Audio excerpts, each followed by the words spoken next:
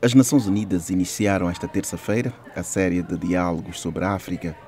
Em 2019, o lema do evento anual é Refugiados, Retornados e Pessoas Deslocadas Internas, rumo a soluções duradouras para o deslocamento forçado em África.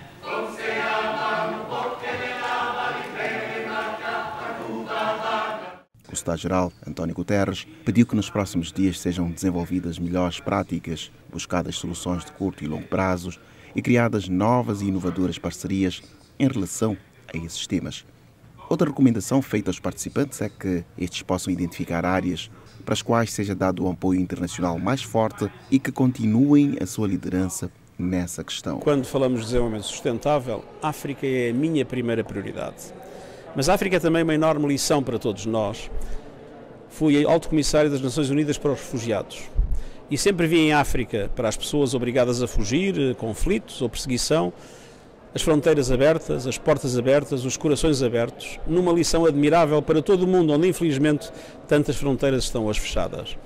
É importante que todos ajudemos a África a vencer os obstáculos que ainda hoje levam a que tanta gente seja obrigada a fugir é preciso apostar fortemente nos objetivos da União Africana que querem silenciar as armas em 2020. A Presidente da Assembleia Geral, Maria Fernanda Spinoza, disse que no momento em que o multilateralismo vem sendo questionado por alguns, o mundo precisa da liderança africana. Ainda sobre a questão de refugiados, Spinoza disse que o continente, mais uma vez, está na vanguarda.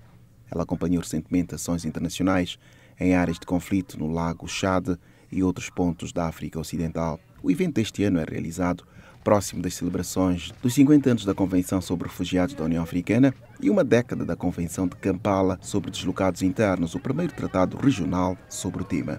Da ONU News em Nova York, Eleutério Guevara.